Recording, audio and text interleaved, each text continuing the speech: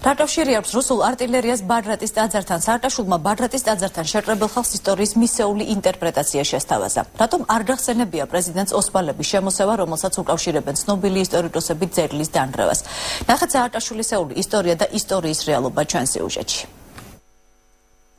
ეს ტაძარი დაანგრია რუსეთის артиლერიამ სხვა საქართველოს ისტორიის თავისებური ინტერპრეტაცია პრეზიდენტმა ბაგრატის ტაძარზე ჯვრის აღმართვის ცერემონიაზე გაახმაურა. სხვა ტაძრებში მათ გადაგვიღებეს ჩვენი დაფარეს ჩვენი ფრესკები საღებავით, ხოლო ეს ტაძარი მათ დაანგრიეს артиლერიით. რუსეთსა და რუსულ артиლერიას არა, თუმცა ბაგრატის ტაძრის შემოსვლაში ვახუშტი ბატონიშვილი ოსმალებს ადანაშაულებს.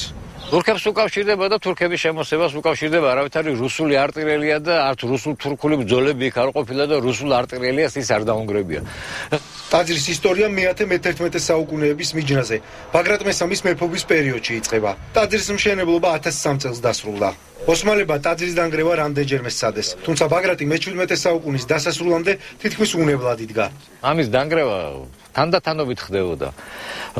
თურქების შემოსევების შედეგად სწორედ ამას ადგილი ქონდა მე-16 საუკუნის დასაწყისში. საბოლოოდ ესე დანგრევა მოხდა მე-17 საუკუნის ბოლოს 1692 წელს. ვახუშტი ბაგრატიონთან არის ეს ცნობა დასული, რომ ოსმალები შემოიჭრნენ და დაანგრიეს ბაგრატის ტაძარი. ბაგრატის ტაძრის რეკონსტრუქცია 2009 წელს პრეზიდენტის ინიციატივით დაიწყო. 2010 წელს მსოფლიო მემკვიდრეობის კომიტეტმა ბაგრატი საფრთხის ქვეშ მყოფი ძეგლების სიაში ჩარიცხა. ამის მიზეზად კი ტაძარზე დაწყებული სარეკონსტრუქციო სამუშაოები დასახელდა.